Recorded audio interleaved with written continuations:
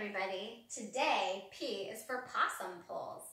So we're down on the ground. I want you to get down on the ground just like me and Laura. And I want you to lay down on your back, real flat, just like this. Now what we're going to do is we are going to pull our knees up towards our heads. And as we curl up, we're going to bring our legs up towards the ceiling and then back down again. Now you can go real straight and then go back into that curled up position, or you can just kind of stay curled and rock it just like this. All right? So what you're going to do is you are going to do at least 20 possum pulls if you can. It might be a challenge, but I think you can do it because P is for possum.